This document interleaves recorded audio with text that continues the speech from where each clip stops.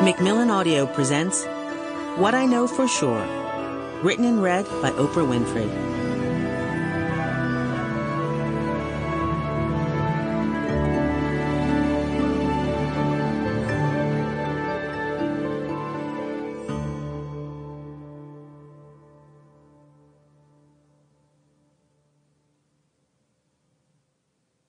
Introduction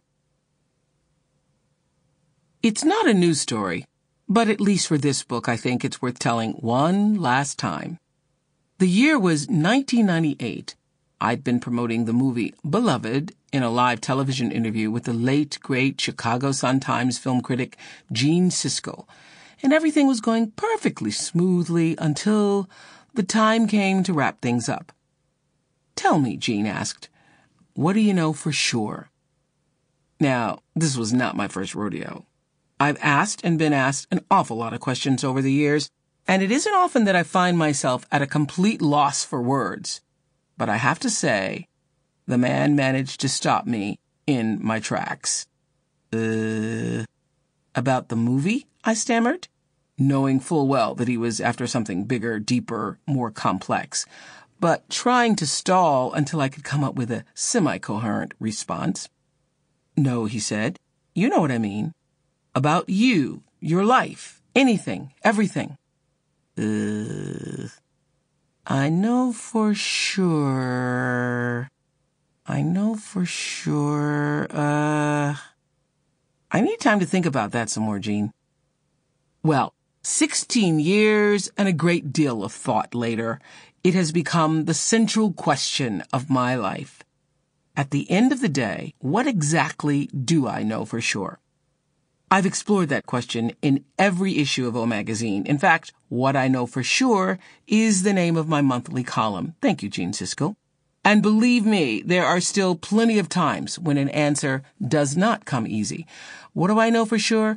I know that if one more editor calls or emails or even sends a smoke signal asking, where is this month's installment? I want to change my name and move to Timbuktu. But just when I'm ready to raise the white flag and yell, that's it! I am tapped out! I don't know anything for sure!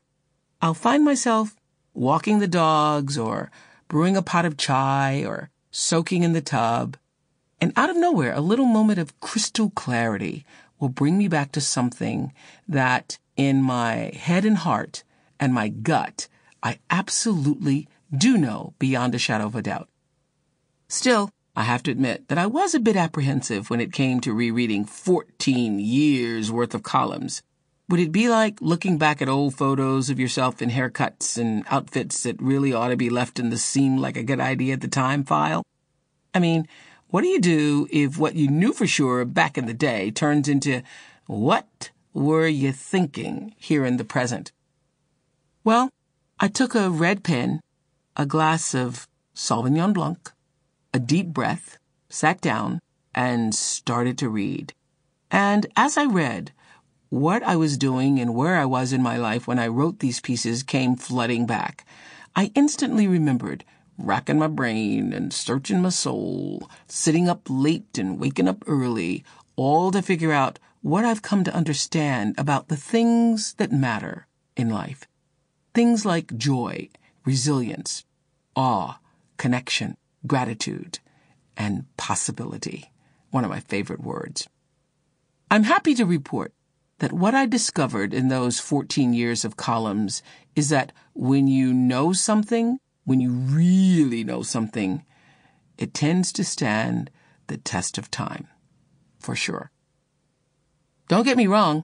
You live, and if you're open to the world, you learn.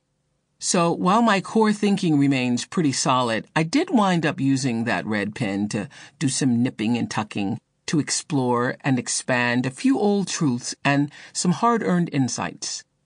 Welcome to my own private book of revelations. As you read about all the lessons I've struggled with, cried over, run from, circled back to, made peace with, laughed about, and at long last come to know for sure, my hope is that you will begin to ask yourself the very same question Gene. Sample complete. Ready to continue?